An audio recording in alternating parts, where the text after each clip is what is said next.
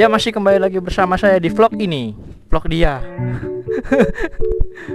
Ya kali ini saya akan mereview Motor Beat Karbu tahun 2012 Yang sudah sekonsep Super Matic Super Moto kok Matic Emang apa sih nggak boleh? Sombong amat. Ini keseluruhan Tampilan Dan saya akan review di pertama adalah Setang. Setang dulu kan dapat ya? Stang Stang saya pakai stang fatbar Saya beli stang ini 500 ribu komplit sama poskom poskomnya bawaan bit ini saya potong.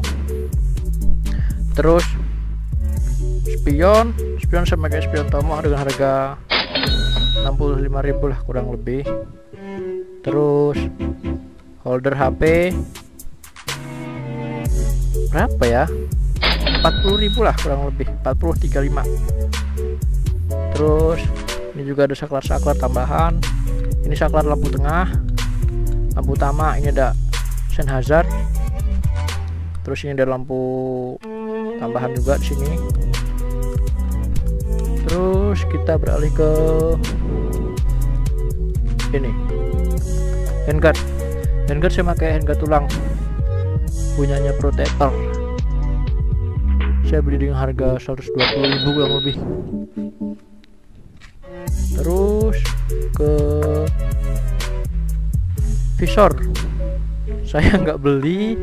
Saya modal modal motong helm. Ini moncong bukan moncong apa ya? Kayak petnya itu pet helm bawa motor itulah pokoknya. Terus lanjut ke bawah sedikit. Lampu. Saya pakai lampu demaker dua mata. Warna biru. Sepasang. Ada dua. Dengan harga 68.000 atau sampai 70.000 lah lebih.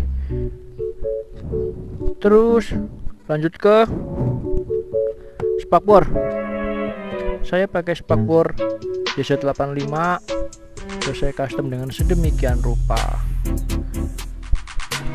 Ya inilah. Terus lanjut ke bawah ada karet spiral. Ini gunanya buat melindungi shock ya dari debu? Nambah penampilan juga biar agak gagah dikit. Saya beli dengan harga 35.000 kurang lebih.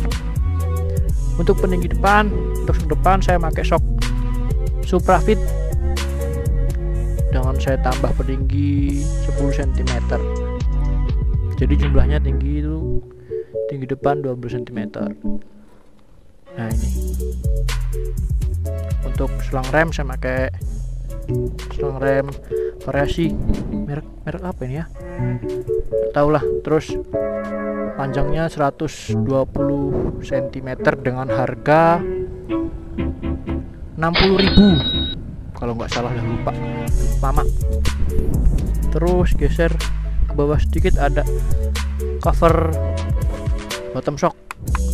Ini punyanya CRF saya beli dengan harga 40.000 kalau di Shopee kurang lebih segitu. Ini saya custom sedemikian rupa ini ada ya ini saya potong. Ini ada saya pakai dudukan kayak klem-kleman gitu ya. Ya saya pakai buat 10 juga. Terus tubular. Tubular ini saya beli di Shopee dengan harga kurang lebih 150.000 berhubung ini bit karbu jadi susah kalau mau custom. Nggak kayak bit yang sekarang. Kan jadi ya beli. Terus untuk footstep footstep depan ini biar bisa selonjoran di jalan nggak capek juga saya beli harga 80.000 kurang lebih. Terus lanjut ke knalpot knalpot saya pakai knalpot KLX warnanya silver tadinya cuman saya cat warna hitam. Terus sudah agak sedikit pudar juga ini. Ini lehernya saya pakai leheran bawaan knalpot beat nah inilah penampakannya lanjut ke sini. Shock belakang saya pakai shock bawaan bitnya ini saya tambah peninggi belakang 8 cm terus saya pakaiin sarung juk sarung juk ah. sarung shock juga. Wah malah toxic gini kan. Nih sarung shock sarung shock ini kurang lebih 15.000 untuk mesin motor ini standar. Cuman saya main di bagian CVT roller saya pakai 9 gram. Nggak saya mix saya pasang semua 66 nya terus uh, per pakai racing 1500 rpm sama per kampas ganda. Nah terus di sini ada decol nah decol ini saya custom sendiri ya saya beli di uh, toko stiker di daerah saya. Full body gini kurang lebih 400 ribu lah. Tiga setengah sampai 400 ribu. Ini supermatic. Ada nama saya nih bos. Nih, nih. kalau mau ngecek instagram saya di sini nih anjir. Jangan lupa like, comment, and subscribe. nah inilah tampilannya di call depan. Ya ini dia.